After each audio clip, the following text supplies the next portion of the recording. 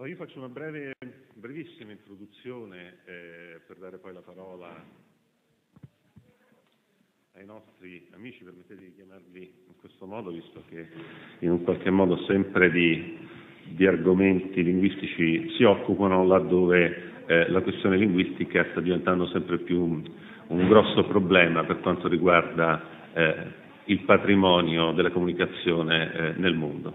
Oggi noi presentiamo questo Atlante che era stato pubblicato, che è stato pubblicato già precedentemente dal, dall'UNESCO, l'abbiamo pubblicato eh, ovviamente in italiano, cercheremo peraltro di pubblicarlo anche eh, in altre lingue per quanto più possibile, soprattutto per eh, una motivazione che è quella che riteniamo che bisogna mettere al corrente di eh, questa tragedia un po' eh, quante più persone possibili e per questo ovviamente faremo eh, ogni nostro sforzo. Eh, calcolando che è uno sforzo comunque di un'associazione eh, senza scopo di lucro, fatta da eh, persone che ogni anno mettono il, la loro, il loro piccolo contributo perché queste cose si facciano e anche la, la traduzione, qui anticipo subito un tema, eh, l'abbiamo fatto il meglio possibile, alcuni termini probabilmente non saranno eh, perfettissimi nella traduzione italiana e per questo ovviamente è rimasto un po' un lavoro aperto e la sua diffusione l'abbiamo immaginata sostanzialmente attraverso internet per due motivi, non solo questo eh, nel senso della, anche del contributo che può avvenire da invece linguisti di vaglia eh, italiani e non rispetto alle denominazioni delle lingue stesse, ma eh, anche e soprattutto perché la diffusione sia la più capillare possibile senza necessità di recarsi in libreria o dato. Tra l'altro stiamo pensando di metterlo a disposizione su internet eh, o addirittura gratuitamente o comunque certamente con una, una spesa davvero eh, minima. Questo credo che sia uno sforzo da apprezzare e, e spero che abbia il suo, il suo esito positivo. Dicevo eh, il, la questione delle lingue. In, questo, in questo trante troverete eh, la denuncia che gran parte, eh, l'UNESCO parla del 50% come stima delle lingue a rischio scomparsa entro questo secolo. In realtà ci sono delle cifre molto più allarmanti, ad esempio quelle di Michael Krauss, eh, che è dell'Università di Fairbanks in Alaska, che parla addirittura del 90-95% della distruzione linguistica nel mondo eh, entro questo secolo, ma insomma certamente il problema è davvero grosso. Eh, la questione ancora più eh, grave è questa, nel senso che è difficile rendere conto alle persone della morte di una lingua, perché di fatto non si hanno dire, dei corpi o delle foto da esporre, eh, mentre per la scomparsa di una specie animale eh, ciò accade, si può dire ecco questo era l'animale oppure questa era la pianta che ora non c'è più, eh, sostanzialmente per le lingue eh, accade un processo molto più articolato, nel senso che le persone in realtà eh, continuano a resistere molto spesso, però eh, la loro lingua, la loro cultura, la loro tradizione eh, scompare. È un po', facendo un paragone un po', un po forte, eh, quello che poteva accadere, eh, ad esempio, pensando a una sorta di eh, bomba N che era negli anni 50 stata ipotizzata per distruggere solo le, le, cose animate e non gli edifici. Ecco, diciamo che questo è il è quello che accade un po' quando, eh, quando muore una lingua e quando muore una, una cultura. E un'altra cosa che vorrei aggiungere senz'altro è un ringraziamento ai due parlamentari eh, della Margherita che ci hanno permesso di utilizzare questa sala, ossia Roberto Giachetti e eh, Andrea Ciocchetti e Andrea Colace, scusate, e eh, quello che adesso mh, faccio è senz'altro quello di dare la parola, tanto per cominciare, al eh, professor De Mauro. Ma, eh, breve. Brevissimo, eh, ma mh, dunque ci sono giornalisti qui presenti, sì, possono forse voler fare delle domande per orientare oppure parlo brevemente come, come Di solito se hanno voglia le fanno alla fine se hanno voglia le fanno alla fine. Allora, eh, io proverei a distinguere dinanzi a questa iniziativa vari livelli. L'intenzione della traduzione e dell'associazione eh, Esperanto.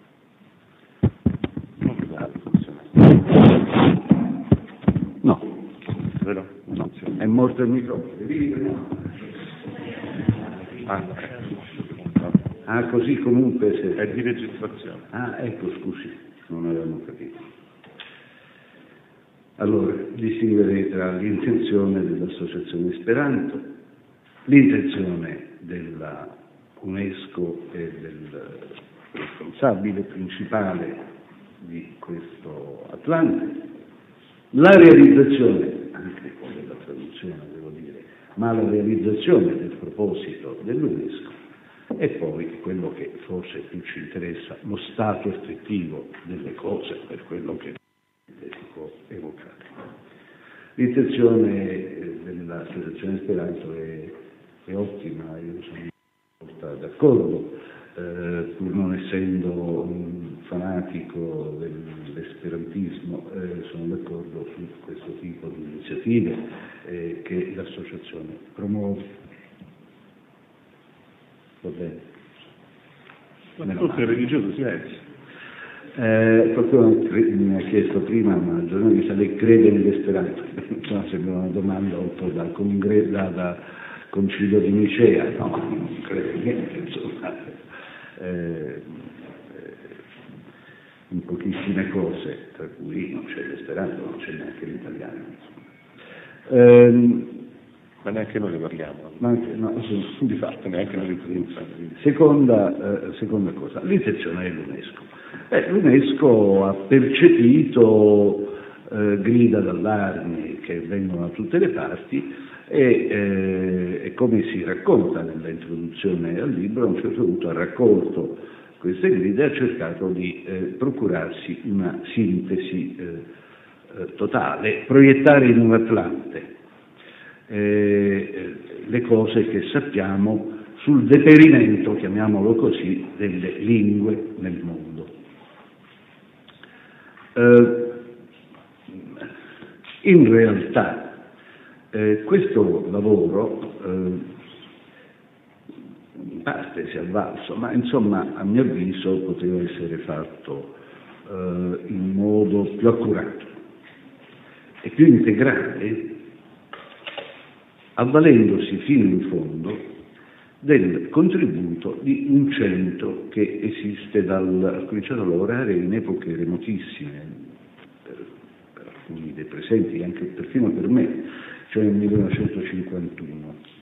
È il centro Ethnolog di Austin eh, nel Texas, etnologue, diretto da una brava studiosa, partita giovanissima, ormai molto anziana, Barbara Grimes, Grimes, eh, Grimes, che eh, di anno in anno ha fatto un lavoro mostruoso e difficile, che è quello di censire le lingue del mondo. Questo non è facile perché bisogna capire, andare sul terreno in qualche modo, raccogliere informazioni, poi andare sul terreno e capire quando è che due modi di parlare testimoniano due lingue diverse e quando invece sono due varianti della stessa lingua. E non ci si può molto fidare dei nativi. Eh, Maurizio Nierre ci parlerà di casi amazzonici e messicani di cui è esperto conoscitore. E più modestamente si va al Valmontone, gli abitanti, una parte degli abitanti di Valmontone è convinta di parlare un dialetto francese poi se, e, e, e favoreggiano di guarnigioni francesi venute a Roma con la Repubblica, la, la prima Repubblica Romana di fine Settecento rimaste non si sa perché. Nulla di tutto questo, scala scala. Naturalmente il valmontonese è un dialetto di transizione tra i dialetti romaneschi e, il, eh, e i dialetti sociali come mai gli è venuto in testa? E me ne sono convinto, ho trovato anche dei giovani, una giovane laureanda venne a chiedermi tanti anni fa una tesi che poi ha fatto, ma su altra linea, dicendo sa, è un'enclave linguistica francese, valmontonese. Alla base c'è il fatto che le parole che finiscono in nome, a cominciare dalla parola valmontone, in valmontonese si dicono valmondo al mondo con una nasalizzazione. Dunque sembra proprio questo francese, ma per il resto è un buon dialetto delle nostre parti. Quindi, e quindi di qui immaginate su scala planetaria quanto è difficile. E allora, attraverso gli anni, pubblicando ormai di anno in anno l'aggiornamento in rete gratis eh, de, della identificazione delle singole lingue con delle schede che qui purtroppo mancano, per cui non si capisce bene di che cosa si sta parlando. È esattamente la parte pubblicata dall'UNESCO. No, no, no, no, è mica, è mica Pagano il responsabile, non sto dicendo questo. Eh, perché se, se, non si dà un minimo di corredo demografico, eh, geoambientale, eh, culturale, insomma tutto res- rischia di restare nel vago. Farò rapidissimamente qualche esempio dopo. Eh, allora, se uno prende il repertorio di Barbara Grimes, ormai arrivato alla non so quale cappesima edizione in, online, se voi andate in, in rete al sito www et, col th, etnologue, etnolog.com, eh, potete eh, accedere a questa massa sedimentata e verificata perché tra proteste, correzioni, contributi di anno in anno la lista si è affinata. Scoprite che le lingue identificate come diverse nel mondo sono 7200, non, quindi ben più di 6.000. E, lingue naturalmente vuole dire sistemi linguistici, quindi lingue nazionali, lingue ufficiali, lingue letterarie, lingue dei poveracci, dialettacci, dialettomi, dialettucci, qualsiasi sistema linguistico con una sua configurazione interna autonoma. Sono 7.200, di queste circa 2.500 soltanto si può dire, sono eh, scritte, cioè sono legate a una tradizione scritta. Questo è importante perché significa che c'è una scuola, c'è un'istruzione. E voglio dare però un dato se non... perché nei giornali fa molta notizia, muoiono le lingue, caspita, grandi titoli, ma eh, non fa notizia il fatto che eh, nel 1900, no, nessuno se ne importa, no, ogni tanto vedo, ah, le lingue muoiono, l'inglese, eh? e poi finisce, no, nessuno ne fa niente, e questo è chiaro.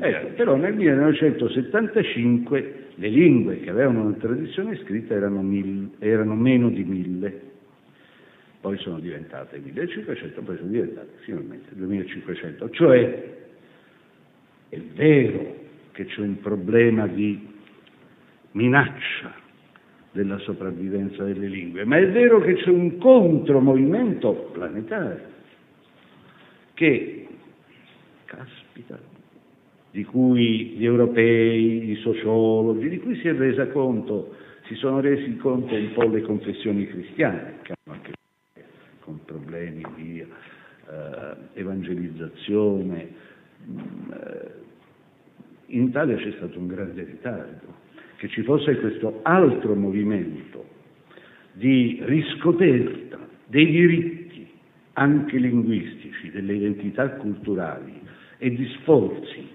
sparsi in tutto il pianeta per consolidare queste identità, che è un fenomeno importante, questo non è stato molto chiaro. Ma vabbè, eh, vedete, sto già parlando d'altro. Allora, voglio dire, buonissima l'intenzione, eh, eh, del, dell'UNESCO, forse un contatto più sistematico e stretto con, centro, con i dati disponibili del centro ci avrebbero orientato altrettanto, forse meglio, nel senso che delle 5.000 lingue affidate soltanto al parlato, sarebbe stato non difficile vedere, attraverso i dati eh, della Grimes, quali, quali sono le lingue con una base demografica sufficiente, larga, di 10.000,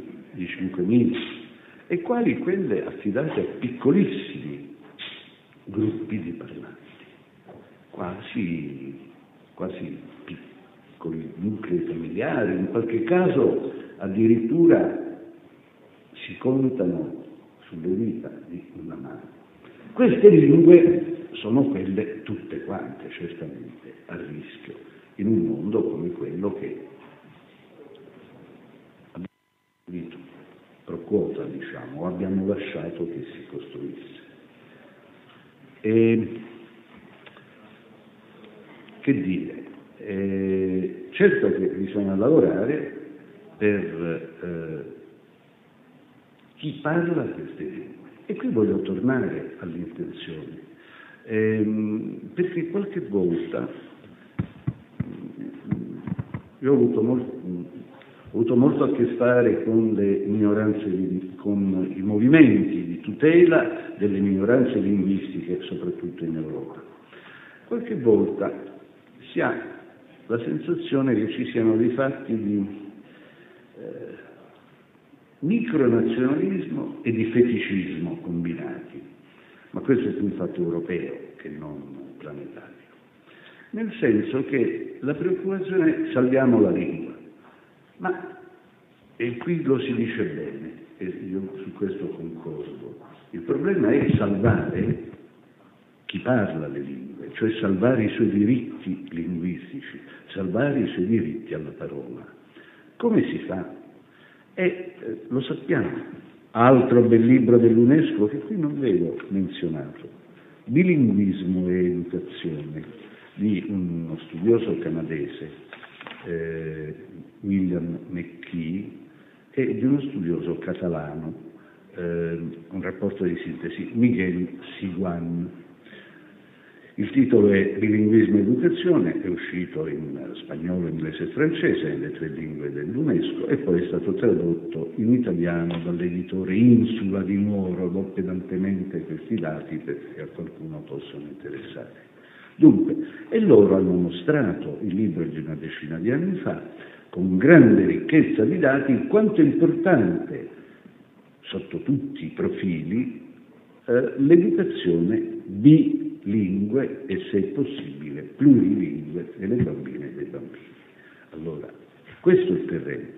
Cioè, se vogliamo che eh, qualcuna delle lingue più a rischio sopravvive, dobbiamo offrire alle bambine e ai bambini che parlano quella lingua ancora, o agli adulti che hanno dei bambini che rischiano di non parlare più quella lingua, delle istituzioni culturali e scolastiche in cui persista l'uso della loro lingua e ci si apra alle grandi lingue di comunicazione con termini, ci si apra nel senso che le si apprenda.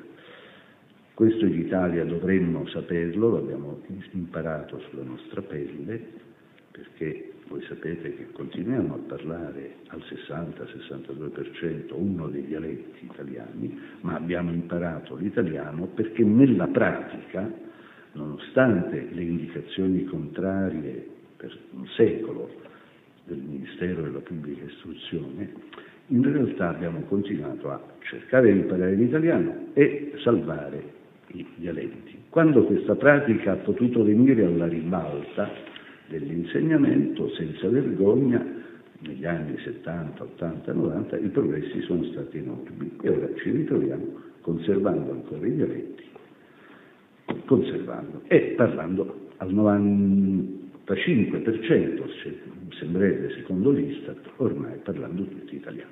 Un'ultima notazione, salvando i dialetti. Eh, sulla attendibilità di alcuni dati, e chiudo, eh, Attenzione, eh, eh, abbiamo bisogno di una recensione critica che accompagni in internet questo lavoro, meritorio per tanti aspetti, perché qui si scopre che il piemontese o il romagnolo sono a rischio di estinzione, cioè sarebbero parlate di cui i bambini, che i bambini non usano più. Chi gli ha dato questa informazione? Dio solo lo sa, lo sa il professore, eh, forse Burbeck, eh, bisognerebbe chiedergli, ma chi ha detto questo? Lo possiamo vieni, è morto. è morto, poveretto. Allora, vieni una volta a Sant'Arcangelo di Romagna, vieni, vengano i tuoi eredi, a mangiare delle ottime tagliatelle, stai in una trattoria per un paio d'ore e vedi i bambini che parlano, parlano romagnolo naturalmente, finché non si accorgono che c'è lo straniero, allora in quel caso magari parlano inglese e parlano un ottimo italiano. Però questa storia che lombardo, piemontese, eh, ligure, emiliano e romagnolo, non si sa perché gli altri dialetti invece sembrerebbero tutti per fortuna in vita. Questi cinque sono a rischio di estinzione. È una delle piccole cose che forse, se eh, l'associazione è d'accordo, si potrebbero, non dico emendare, perché se uno traduce il testo è quello, ma accompagnare con qualche noticina di... C'è una lingua che si chiama francese, che nessuno più conosce, mise messa in guardia, vero? E, scusate se ho parlato troppo, però. Ah, figuriamoci. No, io, eh, innanzitutto rispondo subito a questo Laura. Allora, eh, l'associazione è ben d'accordo, il problema è l'UNESCO che non è ben d'accordo, nel senso che eh, il contratto fatto con l'UNESCO è di una rigorosità assoluta, nel senso che anche eh, aggiungere un paragrafo in più o in meno, oh, eh, ma qui do anche un'altra spiegazione, cioè del perché poi alla fine eh, sapendo che eh, qualche, qualche, e qualche più di, eh, di, lacuna ci sia in questo Atlante, abbiamo eh, invece eh, avuto come riferimento quello UNESCO, perché in realtà è quella l'organizzazione mondiale dove ci se ne deve occupare nel senso che ovviamente non ci se ne può occupare su internet, sono i governi che devono cominciare a pensare seriamente a questi argomenti e quindi è giusto fare queste critiche ma certamente riportarle all'UNESCO. Questa è l'unica cosa che possiamo fare perché appunto abbiamo riscontrato una rigorosità eh, estrema. Allora io adesso darei la parola al professor Vedovelli. Eh, se c'è qualcuno che deve andare via posso anche eh, fare un diverso ordine, però io ho pensato poi il professor Castorina e perfino eh, per finale gli scoppi d'artificio di Nier appena venuto dal Messico e ci racconta un po' le, le, le cose sul campo. Orientativamente abbiamo eh, per ciascuno dei relatori circa 10 minuti e un quarto d'ora e a questo punto do la parola ovviamente, a, come avevo detto, al professor Bedovelli.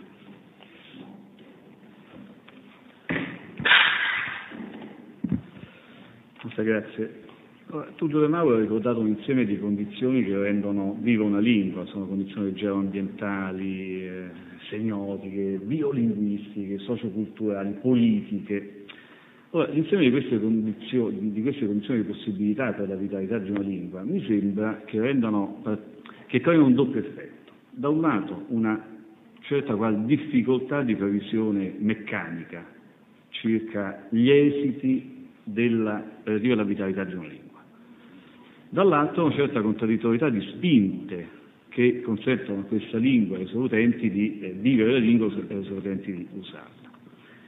E vorrei fare, eh, questa situazione di contraddittorietà, di condizioni nella vitalità, nel grado di vitalità di una lingua, sono rese particolarmente complesse in una situazione mondiale che i sociolinguisti a seconda dei modelli teorici interpretativi, da un lato definiscono come mercato mondiale delle lingue, oppure nuovo ordine linguistico mondiale. Allora, il concetto di mercato mondiale delle lingue sembra far prefigurare un libero, un libero Stato in cui le lingue, nella loro assoluta libertà espressiva, eh, sociale, geometrica, eccetera, eccetera, possono tra di loro interagire conquistandosi fette di pubblico, quindi cioè eh, aree di espressività e di uso e di utenti. Ma noi sappiamo che questa libertà nel mercato e nel mercato delle lingue non esiste. Allora il modello alternativo è quello che parla di un nuovo ordine linguistico mondiale, a significare una gerarchizzazione delle posizioni delle lingue, delle lingue con una lingua dominante, l'inglese, e tutte le altre lingue subordinate e quindi loro sì a rischio di, di, di estinzione.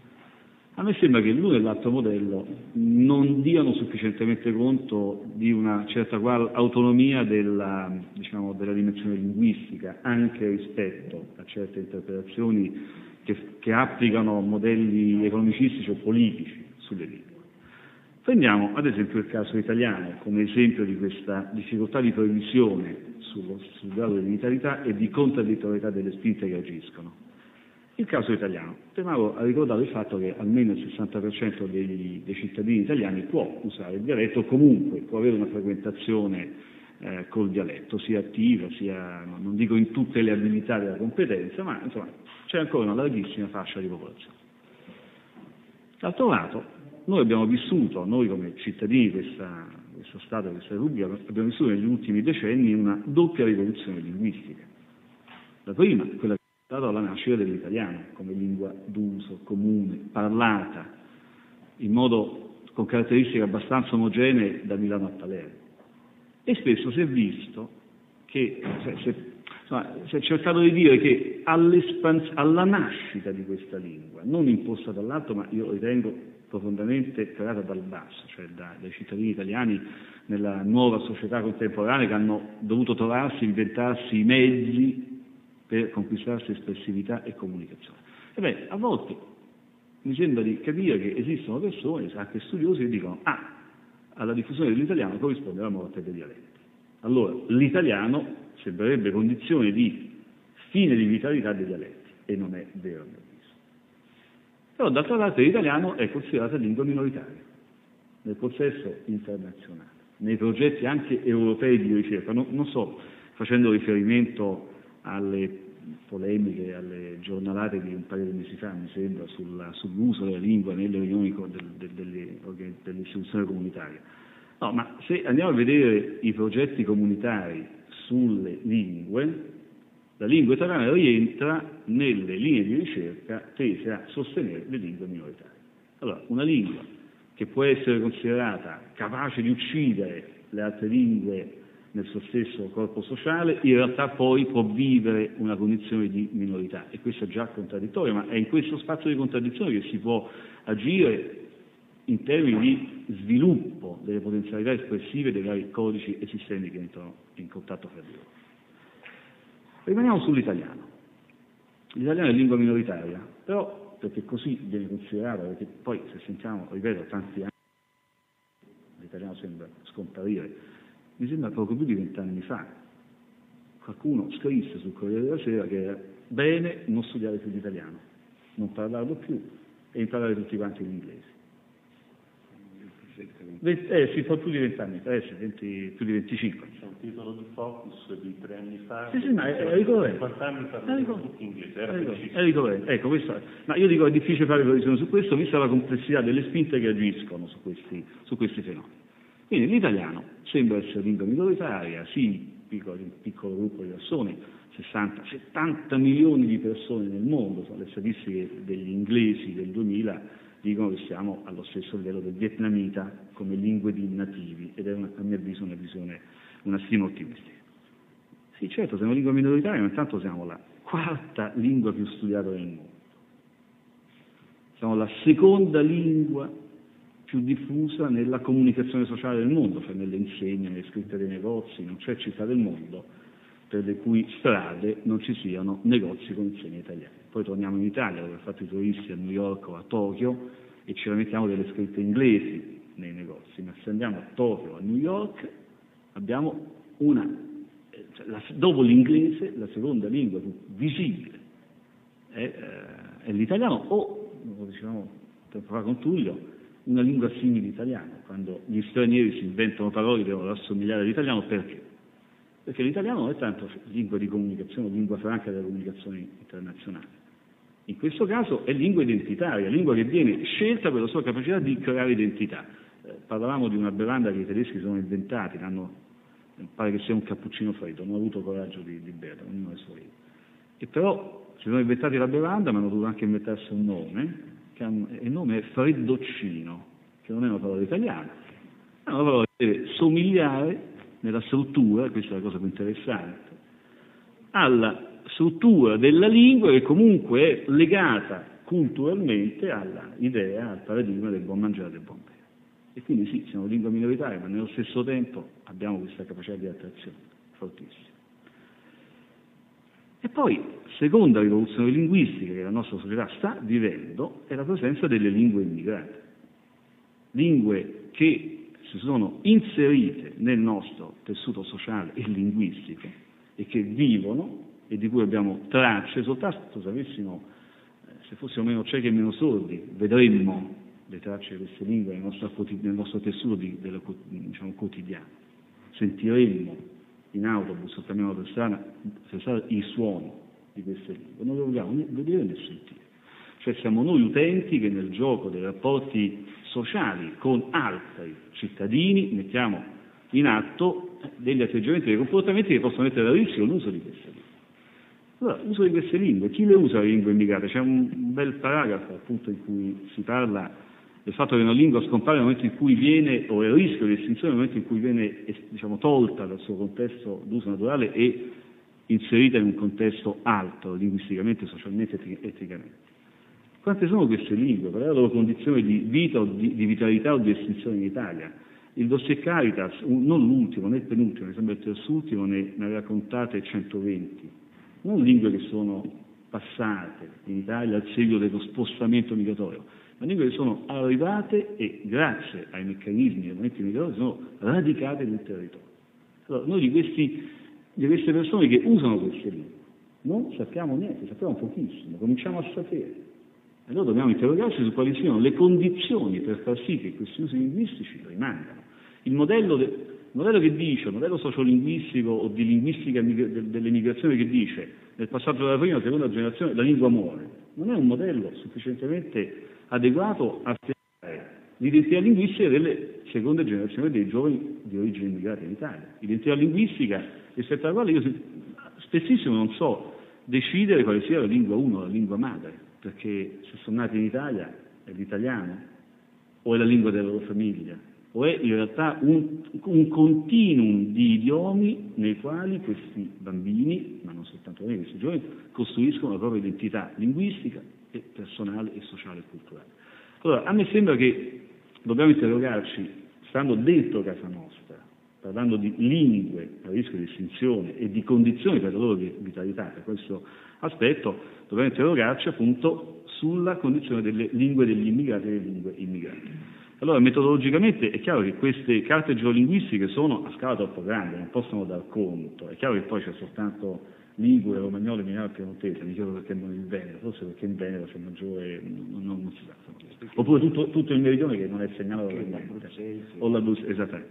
Ecco, io ho l'impressione che con strumentazioni più raffinate e negli ultimi anni mi sembra che si assista ad una ripresa di studi con prospettiva geolinguistica, eh, la linguistica diciamo, del paesaggio urbano, oppure la, la statistica linguistica unita alla geolinguistica crea delle raffinatissime procedure metodologiche di cui una piccola testimonianza è quella che eh, si mette in atto a Siena, dove esiste un centro di eccellenza della ricerca che ha come compito quello di creare un osservatorio dell'italiano diffuso nel mondo e delle lingue immigrate. Allora, questo centro produce carte geolinguistiche dettagliatissime a livello di quartiere, a livello di quartiere utilizzando eh, strumentazione eh, informatica, geosatellitare, quello che vogliamo, utilizzando poi una metodologia banalissima, quello di andarci a cercare le lingue, con un, Tullio Mauro lo chiama un camioncino, sì, un camioncino attrezzato, un, campo, un laboratorio mobile di rilevazione sociolinguistica,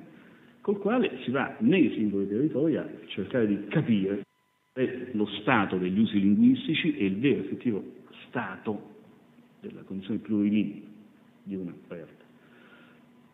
Sintetizzo, eh, questo libro mi sembra un fatto molto importante, molto bello, è un lavoro di sintesi che spinge a riflettere sulla difficoltà di prevedere eh, l'esito di una lingua dallo, dalla fotografia del sociale attuale, dal momento che una lingua vive entro condizioni complicatissime che creano spinte anche contraddittorie. Si può agire su queste spinte, su ciascuna di queste, di queste condizioni, politica, socioculturale, eh, scolastica, via discorrendo, per consentire agli utenti il diritto all'espressione.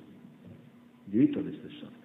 Qualche giorno fa è stato affermato che per far entrare gli immigrati stranieri in Italia dovrà essere necessario un, una verifica della competenza linguistica. Questo non è diritto all'espressione. Questo non è, questo non è diritto all'espressione. Secondo un, un problema che prima ancora eh, che politico è di etica. Questo è quello che si faceva nella Bibbia, quando veniva chiesto di pronunciare una certa parola per identificare il nemico, sciboletta. Allora, io penso che ci sia prima di tutto la necessità di garantire un diritto all'espressione. E su questo, su questo piano, benvenute le carte dei diritti linguistici, però per esempio la carta dei diritti linguistici che proprio l'UNESCO in qualche modo ha promosso e raccolto, quella del Pen Club, a, mio, a mia conoscenza non si è mai trasformata, altro che in una affermazione generale di principio non ha mai trovato delle concretizzazioni in termini normativi nei vari paesi, perché il diritto all'espressione significa poi toccare problemi squisitamente politici.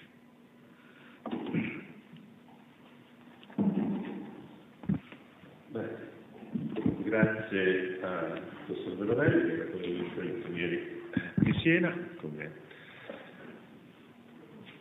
Enunciato, ora do la parola invece al professor Castorina, che è il direttore del Dipartimento di Lingue per le Politiche Pubbliche della Sapienza. A lei il microfono. Allora, questo attualmente mi sembra che sia interessante perché, la traduzione italiana perché pone davanti agli occhi, a prescindere dall'esattezza dei dati e dall'esattezza dei delle carte geografiche, eh, a prescindere dalle inesattezze che sono state rilevate, pone davanti agli occhi di, degli italiani questo problema e credo sia importante porlo perché mi ricordo che soltanto 8-10 anni fa, quando si parlava di diritti linguistici in ambiente accademico, sembrava che si parlasse di cose un po' bizzarre, forse che non fossero di nostra pertinenza. Quando si parlava di tutela delle lingue era, appunto, ci trovavamo nella stessa situazione. Certamente quando si fa un'opera di queste dimensioni i problemi ci sono. Io mi ricordo che in un concorso universitario, leggendo un libro ben fatto del resto, che però parlava di tutte le lingue inglesi, degli inglesi nel mondo, inglesi nel mondo, conoscendo abbastanza bene alcune aree ho trovato un'infinità di inesattezze, inesattezze dovute a problemi oggettivi. Se prendiamo la, la federazione nigeriana non si sa, cioè, ci sono tre gruppi di studiosi locali, anche molto bravi, molto appassionati, però alcuni sostengono che le lingue sono 400, altri che sono 270 o 280, altri che sono a 200, cioè proprio i locali, quindi i problemi sono veramente notevoli. Pare che la vittoria tra queste cifre sia quella di attestarsi su, sulle 250-260 lingue, ma per un solo fatto, come dice un amico linguista, che ci sono circa 250 etnie e 250 sindacati delle comunità, quindi probabilmente quello è il punto di riferimento per stabilire quante sono le lingue. E quel che è vero però che mi raccontava il mio amico Ola Rotini, che lui e la moglie, che appartenevano a due comunità, a due etnie non più lontane di 30 chilometri, dovevano parlare in pidgin English, lui conosceva bene l'inglese, ma la moglie usava questo inglese adattato, questo pidgin English, che lo stesso Lorotini chiamava rotten English, che è un inglese interessante perché non è l'inglese del colonizzatore, è la lingua inglese che viene localizzata e quindi colonizzata da, dagli africani, in questo caso dagli africani dell'Africa dell'Africa occidentale. la domanda che è stata fatta prima, che ha fatto Pagano prima, posso dare una piccola risposta. Non avevo parlato di Esperanto, anche se è una lingua che da molto tempo mi interessa e mi incuriosisce, ne ho anche parlato, ma facendo un'intervista a uno dei più grandi linguisti sudafricani a Città del Capo, lui è il direttore del PANSALB, che è il Language Board sudafricano, cioè il comitato più importante comitato che ha circa 5.000 linguisti, raccoglie circa 5.000 linguisti perché il Sudafrica, il nuovo Sudafrica di Mandela, ha investito moltissimo nella formazione linguistica e appunto nella standardizzazione delle lingue africane. Adesso ci sono 11 lingue, ufficiali, due sono di delegazione europea, l'inglese e l'afrikaans, e altre nove sono locali. Hanno dovute standardizzare e stanno lavorando anche per modellizzare. Questo è un problema che ci può dare anche qualche spunto di riflessione per quello che si dovrebbe forse fare in Italia. Ognuna di queste lingue sta locali si sta proiettando in una prospettiva internazionale, si sta internazionalizzando in qualche modo. Oltre i vari registri, colloquiale, popolare, informale, formale, colto, aulico, eccetera, c'è un registro in cui si cerca di dare una dimensione internazionale sia alle procedure di comunicazione sia appunto al lessico e alla sintassi, semplificando molto la sintassi, arricchendo molto il lessico. Ma cito proprio da Neville Alexander perché mi è stata data questa intervista a stampa recentemente, proprio per quanto riguarda l'esperanto, e lui cita l'esperanto, dice abbiamo recentemente parlato di un certo tipo di esperanto, e dice esattamente così, a certain sort of esperanto, e ho scoperto che questa è una questione che dovremmo riconsiderare, cioè, un interesse per l'esperanto manifestato da questo linguista sudafricano, perché c'è di più dietro a questa questione, è tradotto da una, da una delle studentesse del corso, quindi lo sto leggendo in diretta, perché c'è più dietro a questa questione di quanto non sia generalmente accettato e soprattutto dai linguisti. Credo che l'idea di un linguaggio dei segni sia eccezionale, unitamente a qualcosa come l'esperanto o un altro mezzo di comunicazione neutrale. Quindi lui stava ipotizzando in pratica un tipo di formazione linguistica che include la lingua dei segni e poi spiega anche il motivo, in modo che anche i sordi possano oh, interagire con, anche con chi non è sordo, le, una, una sorta di esperanto, cioè cita l'esperanto come modello. Dell'esperanto mi ero interessato anche durante un convegno che abbiamo fatto alla Sapienza, sottolineando l'aspetto che mh, l'esperanto può funzionare da modello, da unità di misura, prepara gli studenti a prendere coscienza delle caratteristiche essenziali delle lingue, e, grazie alla sua struttura regolare, il suo carattere agglutinante e scomponibile in elementi morfologici combinabili, facilita e sviluppa l'attitudine allo studio delle altre lingue. E mi riferivo qui ai noti esperimenti di Paderborn, no, dell'Istituto di Pedagogia Cibernetica dell'Università di Paderborn in Germania, dove appunto gli studenti che hanno fatto un anno di Esperanto e due anni di una lingua al terzo anno ne sanno di più di chi ha fatto soltanto tre anni di una lingua. Questi sono dati che mi sono stati forniti, che sono penso comuni e noti a tutti. Il problema, dicevo, dell'italiano, io sono ottimista come appunto i miei colleghi, l'italiano non corre rischi, tantomeno il romagnolo, tantomeno la mortadella, che anche se non si chiama mortadella si chiama Bologna in inglese, quindi in tutto il mondo la conoscono come Bologna. Però dobbiamo anche, mi sovveniva una cosa molto divertente, che spesso mi è capitato almeno tre volte che un americano o uno straniero mi chiedesse come si dice pizza in italiano. Io risposto pizza, questo appunto riferendomi a quello che è stato detto della grande quantità di insegne e di presenza dell'italiano nella cultura mondiale, che però non sempre viene percepita come, come italiano, come cultura italiana.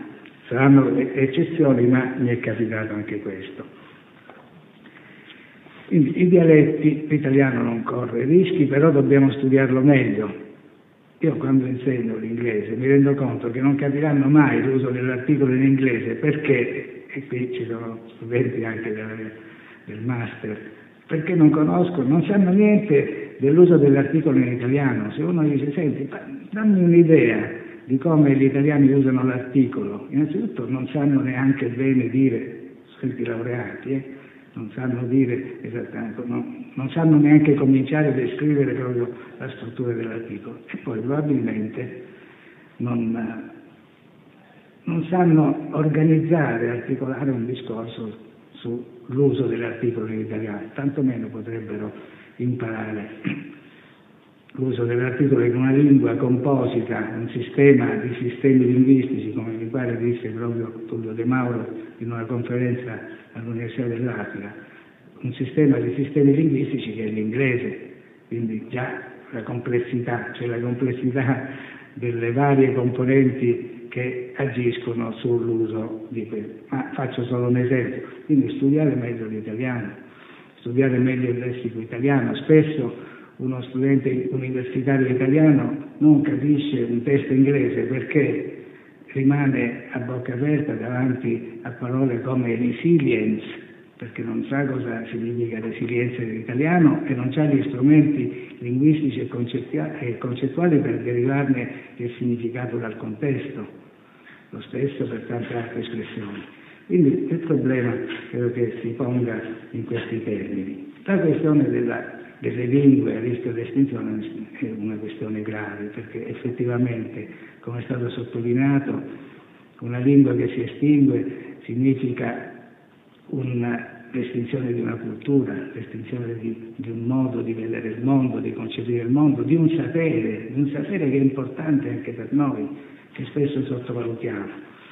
Quindi mi, mi rallegro per, veramente per questa eh, iniziativa, perché tutte le iniziative che vanno in questa direzione, nella direzione di, in, di sottolineare l'importanza di una formazione almeno bilingue, ma possibilmente trilingue, possibilmente multilingue, e che nello stesso tempo mettono il dito su un problema fondamentale, quello della pari dignità di tutte le lingue, senza distinzioni di stato, di condizione, di numero di parlanti, quindi il diritto alla, non solo alla sopravvivenza, ma al rispetto, alla tutela, allo sviluppo, all'evoluzione di tutte le lingue che ancora in qualche modo si sono salvate.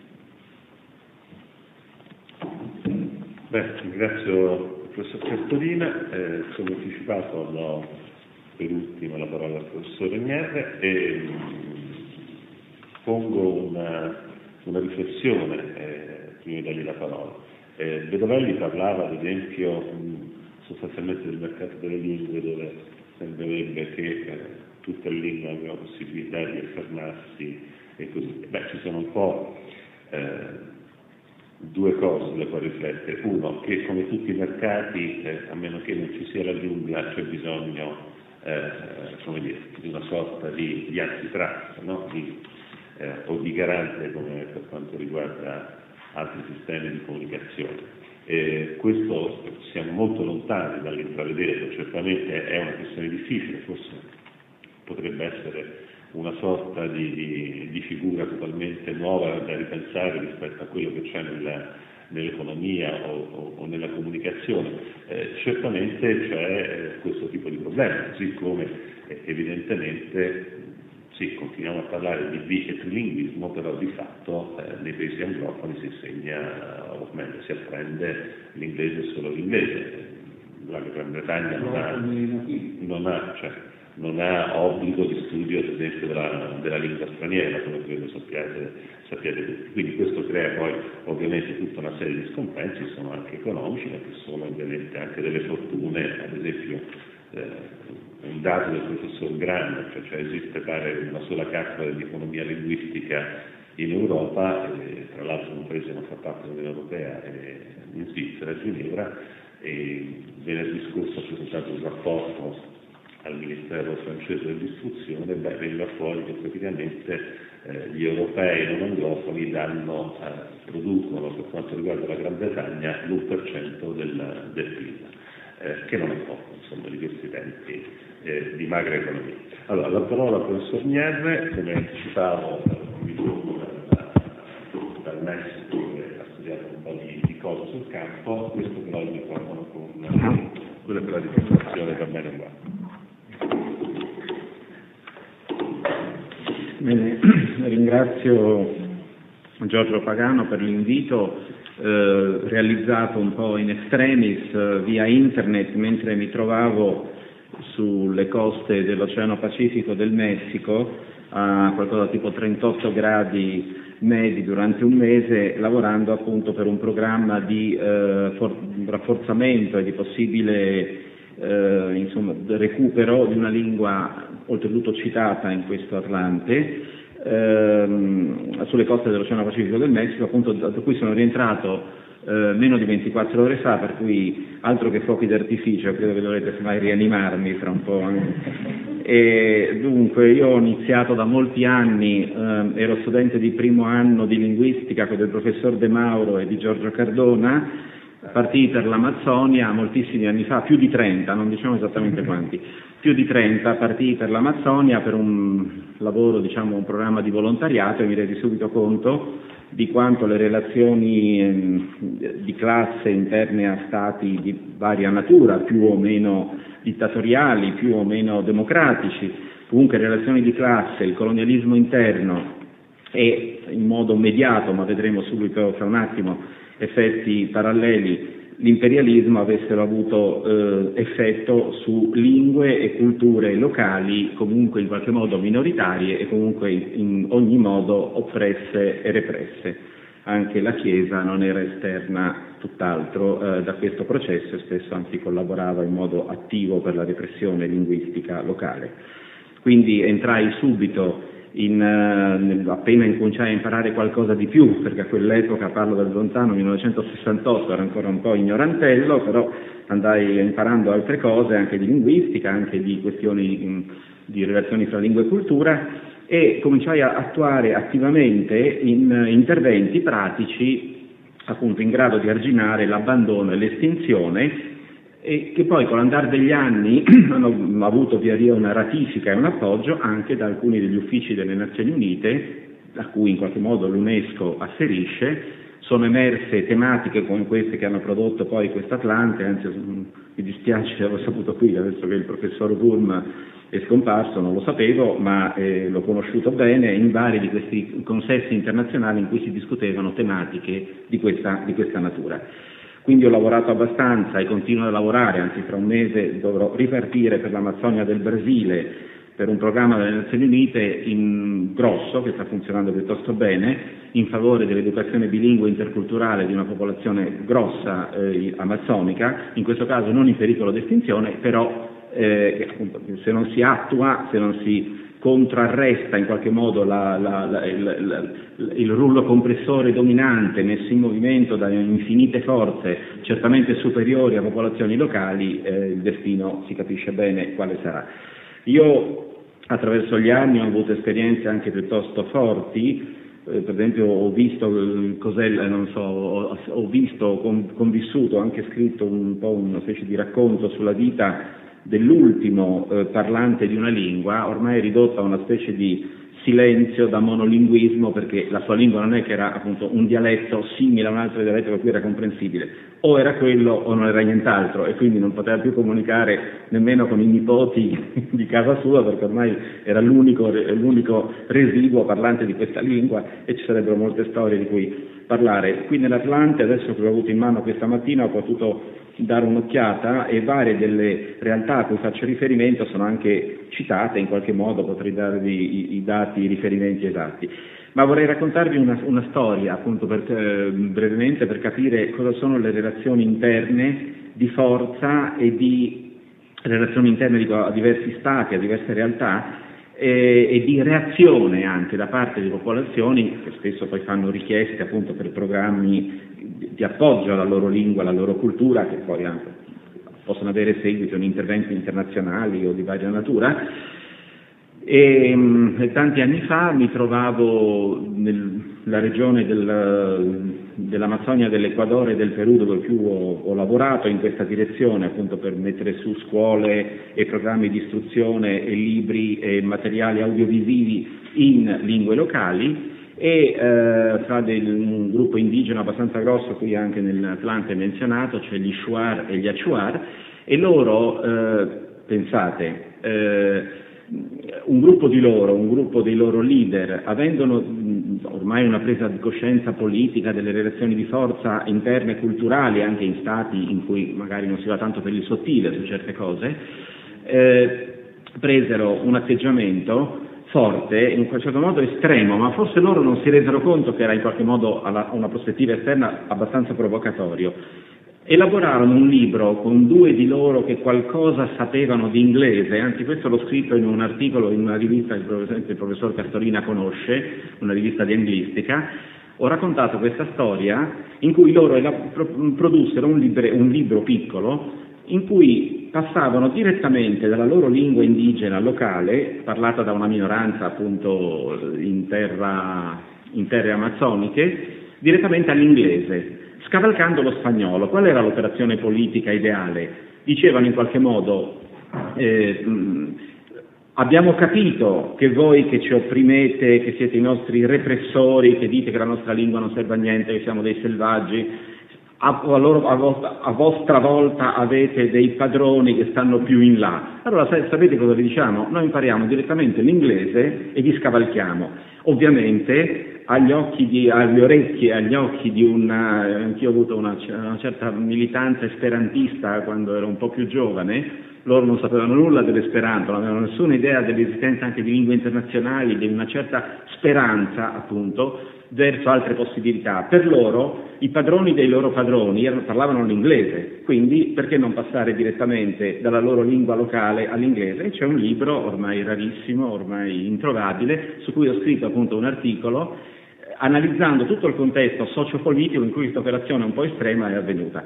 In anni più recenti, in tutt'altri contesti storici e sociali, ehm, ognuno di questi sono molto, ogni situazione di estinzione linguistica dovrebbe essere analizzata nel suo dettaglio storico e sociale, ma appunto sulle coste dell'Oceano Pacifico del Messico, da cui vengo, una popolazione molto combattiva, anche questi di cui ho parlato fino adesso sono molto combattivi, un'altra popolazione molto combattiva del Messico meridionale, arrivando quasi alle coste del, del Guatemala, so, alle frontiere del Guatemala, gli Zapotechi, anche loro hanno fatto una cosa del genere, ovviamente senza sapere degli altri, hanno fatto una specie di ciclo stilato così, eh, in cui si parla della loro lingua locale, la loro varietà dialettale locale del zapoteco direttamente all'inglese. In quel caso addirittura pensando in un altro senso, tanto prima o poi non ci resterà altro che emigrare, cioè tentare la migrazione verso gli Stati Uniti. Quindi pensate quali dinamiche sono messe in movimento e nel mondo ve ne potrei raccontare naturalmente a centinaia, perché un po' il mondo l'ho girato e, e conosco queste situazioni e poi appunto ho conosciuto attraverso gli anni non solo studiosi che hanno studiato realtà di questo genere, ma anche realtà locali che ciascuna appunto ha una sua storia, una sua condizione, in cui ci sono anche richieste pressanti in, questa, in questo senso. Tant'è vero che nel passato sono riuscito a mettere in movimento qualcosa, ogni volta che ho, che ho attiro qualcuno che sia rettore o abbia responsabilità di un'università, glielo ripeto sempre, eh, lo dissi l'anno scorso proprio nel programma Lingua Madre dell'UNESCO al professor Gianni Puglisi che è il, il segretario generale della, dell'UNESCO, dell'ufficio italiano dell'UNESCO, nonché rettore di un'università del nord Italia. Ehm, qui abbiamo Massimo Videoelli, ma insomma lo, lo, dico di solito, lo ripeto, questa cosa, sono stati dei programmi di, in cui l'università, specialmente interessata a queste tematiche, lo dimostri e con i nostri attuali chiari di luna è particolarmente difficile, ma è possibile farlo, di adottare una lingua e cultura minoritaria dando appoggio a programmi locali di rafforzamento dove ci sia l'interesse o la richiesta locale e a volte anche forzando un pochino la mano, perché purtroppo per le normali relazioni di oppressione repressione, mantenimento all'oscuro di, di tutte quelle che sono le dinamiche, la gente a volte neanche se ne rende conto, ma adottare una lingua minoritaria e fare, fare dei passi di appoggio che consistono in primo luogo quello che menzionava il professor De Mauro, tipo l'educazione bilingue interculturale, produrre dei materiali, perché il primo passo spesso in giro per il mondo passa, come molto anche nei nostri dialetti, eh, non è che sia molto, ci sono aspetti di, di somiglianza molto forti, si passa appunto per la, la, la pressante, il pressante convincimento che quello che tu hai imparato a parlare da bambino, quello che tu, i tuoi genitori, la, la gente della tua famiglia sa, sono, eh, sono valori e conoscenze inutili, quindi passa per il disprezzo, per la, la riduzione, cioè, senti, se vuoi diventare come io ho sentito dire tante volte, un vero essere umano, forse dovresti imparare la tale lingua. E in quel caso è successo quello scavalcamento che vi raccontavo prima. Sapete che diciamo, non impariamo lo spagnolo, impariamo direttamente l'inglese, quindi anche in qualche modo delle aberrazioni dal nostro punto di vista, però che fanno, seguono questa logica.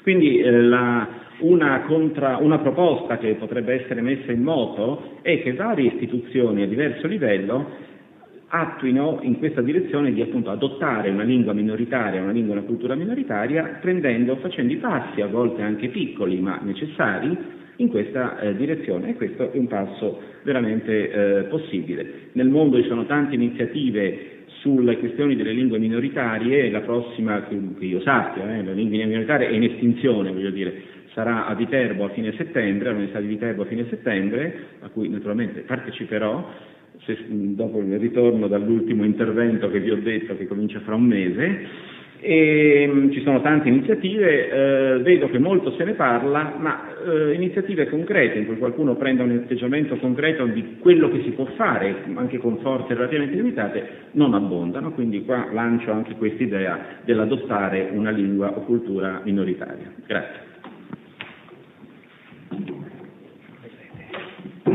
La conclusione, io ringrazio veramente tutti, anche peraltro per aver citato eh, le speranze di cui, come avrete notato, io non ho affatto parlato, quindi per questo vi ringrazio eh, doppiamente.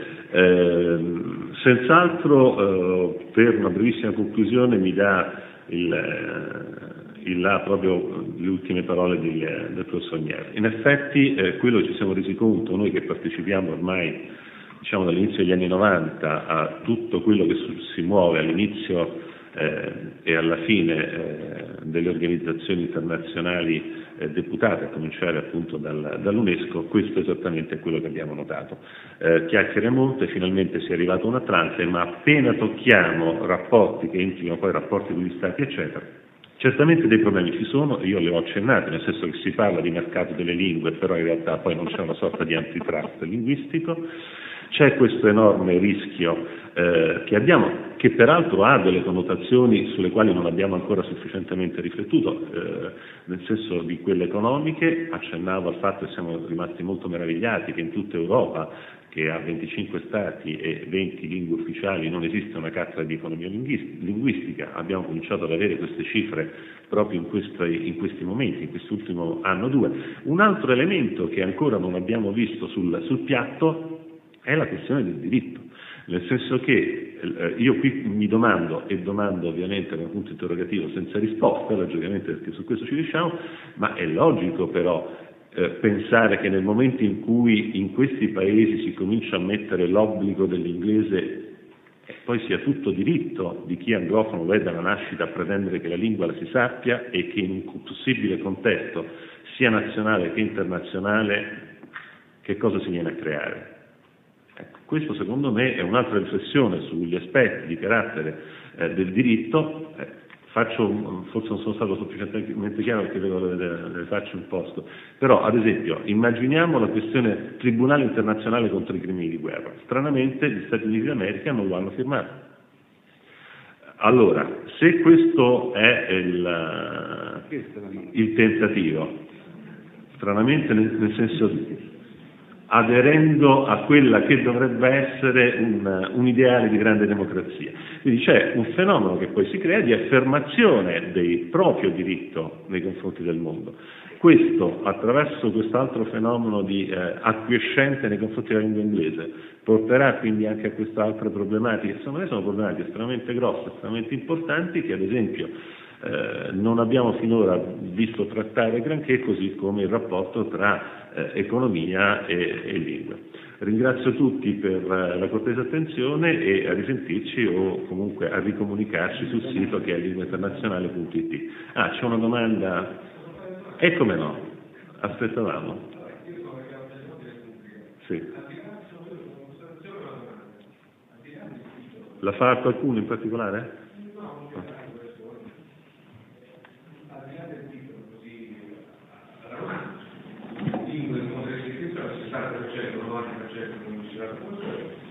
Capire se non interventi, io non ho capito questa urgenza di grandissima osservazione e soprattutto come elemento di questa osservazione. Che si può fare praticamente per evitare di distribuzione?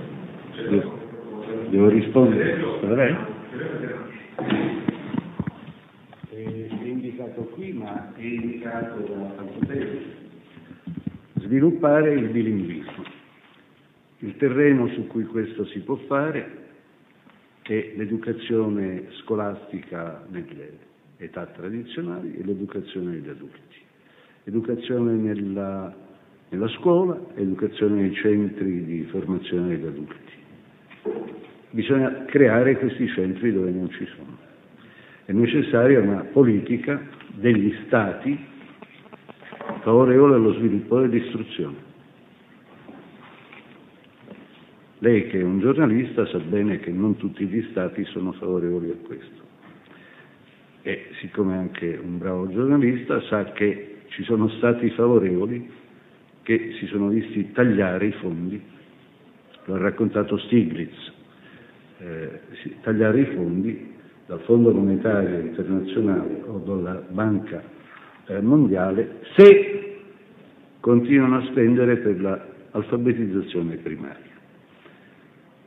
Eh, quindi eh, le, eh, eh, abbiamo, certamente abbiamo davanti a noi un problema di sensibilizzazione culturale nelle aree sviluppate dove questa informativa, diciamo, nelle aree in cui ci sono giornali e mezzi di comunicazione e un po' di gente che li legge. Voglio dire nel nostro paese, per esempio. Ehm, ma poi abbiamo un problema di, diritto, di riconoscimento del diritto linguistico alla propria lingua o alle proprie lingue, giustamente ha detto Vedoelli, identitarie. Qualche paese va in questa direzione, non è impossibile, in Svezia è così. Eh, quali sono le lingue che vuoi studiare a scuola oltre lo svedese, oltre la lingua del luogo? E, e quindi c'è un problema di legislazione e c'è un problema di investimento economico nella creazione di scuole e di alfabetizzazione primaria laddove questo non c'è e di sostegno. E questo è il famoso insegnare a pescare, perché a questo punto il ripianamento del debito è certamente eh, di molti paesi sottosviluppati, è certo un nobile atto simbolico, ma si ricreerà il debito se tu non gli insegni gli strumenti per produrre, per produrre meglio, per non farsi devastare e rapinare. E quindi se non gli dai istruzione, consapevolezza nella loro lingua e nelle altre naturalmente. No, il, non è che no, eh, non è che ci mancano i programmi dettagliati, perché eh, io citavo prima quel libro abbastanza bello di Siduan ehm, eh, Nicchi, cioè, sappiamo cosa bisognerebbe fare. È come nella barzelletta, sono i quattrini che mancano. C'era Ranieri che voleva aggiungere qualcosa.